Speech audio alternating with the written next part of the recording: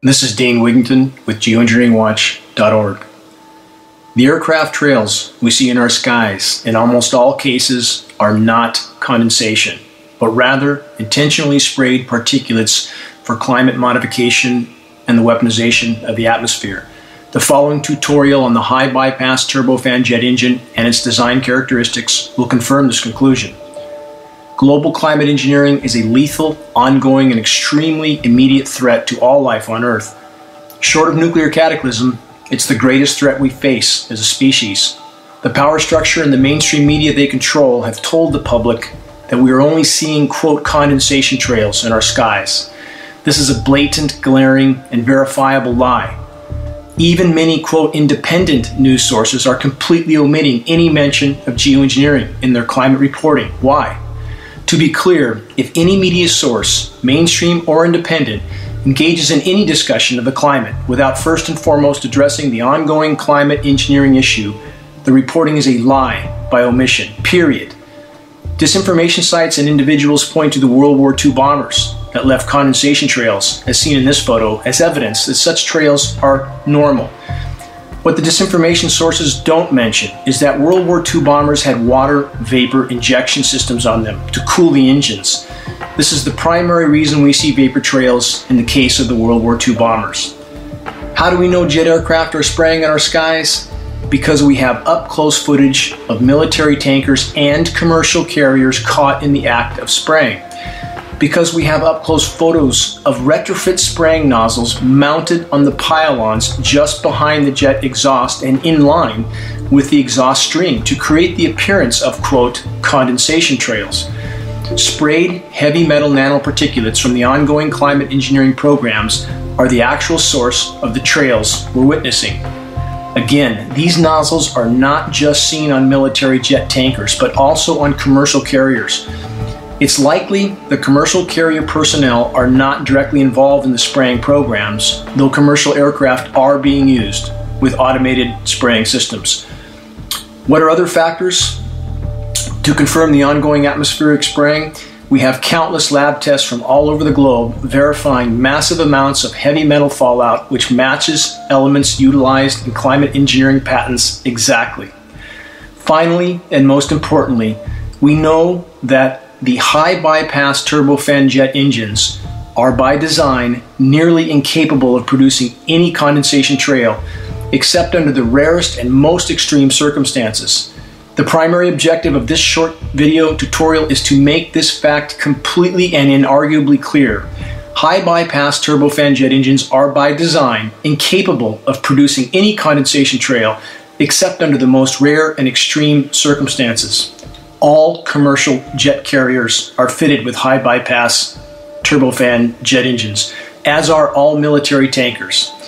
80% of the air that passes through a high bypass turbofan jet engine is non combusted. These engines are, in essence, a jet powered fan. The amount of non combusted air passing through a high bypass engine is far too high to be conducive for any condensation formation. There are very few exceptions to this rule. One more time, the high bypass turbofan jet engine is by design incapable of creating any condensation trails except under the rarest and most extreme circumstances, and even then, any trail would be nearly transparent and only momentary. The jet you see in this photograph is a British Airways flight. Take a good look at the trails behind the jet engines. Why do the two streams from one wing merge into a trail while the other two trails from the opposite wing are aligned in a more parallel fashion? Are the jet engines mounted incorrectly and not aligned? Of course not. The spray nozzles are what is not aligned in a parallel fashion. Moving on to passenger jet aircraft interiors. Those that think that only passengers are held in commercial jet aircraft with side windows are incorrect as these images clearly show. In addition, the higher the altitude, the less humidity there is. The extremely high ratio of non-combusted air to exhaust in a high bypass turbofan jet engine and the near total lack of humidity at higher altitudes are conditions that completely prohibit any condensation formation in almost all cases. Even though higher altitude humidity levels are naturally very low, atmospheric relative humidity levels have been declining even further since the late 1940s, which, by the way, is when climate engineering was first deployed on a significant scale.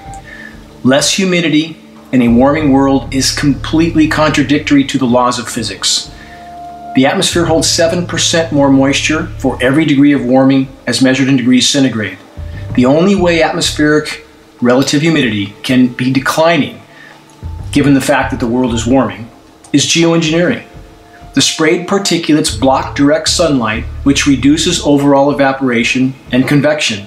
The sprayed particulates are also desiccants, which absorb all available atmospheric moisture.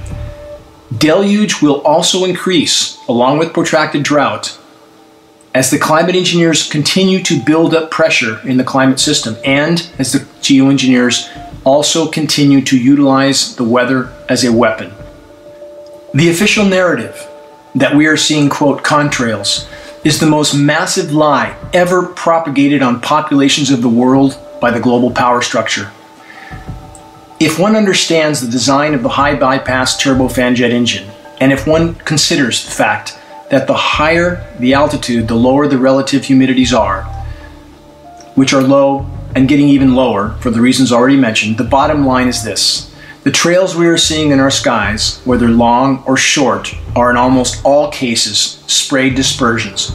Even if you don't see spraying going on, if there are cobweb like undefined wispy clouds, silvery white skies, or featureless cloud canopies, all are telltale signs of atmospheric spraying going on.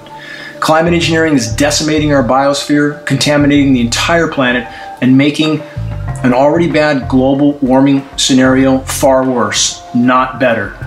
Make your voice heard in this fight while there's yet time. If we are to preserve any part of our planet's life support systems, climate engineering must be exposed and halted.